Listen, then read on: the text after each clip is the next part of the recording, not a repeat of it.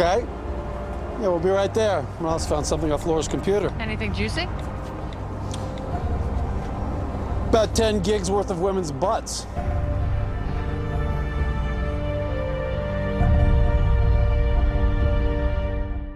You weren't kidding. That's a lot of butts.